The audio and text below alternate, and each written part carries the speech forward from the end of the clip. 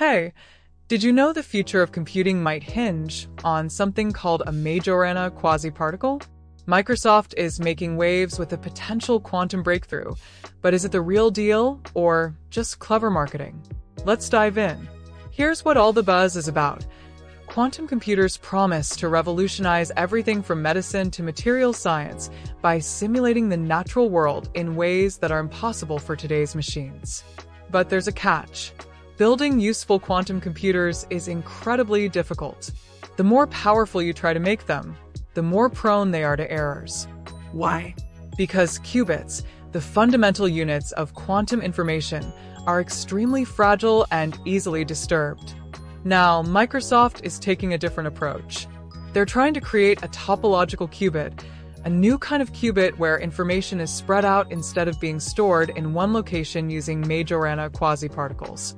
This is groundbreaking because, in theory, it could lead to quantum computers with significantly fewer errors.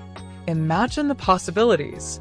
The claim that's turning heads is that Microsoft has not only created these qubits, but can also control them. This is where things get interesting.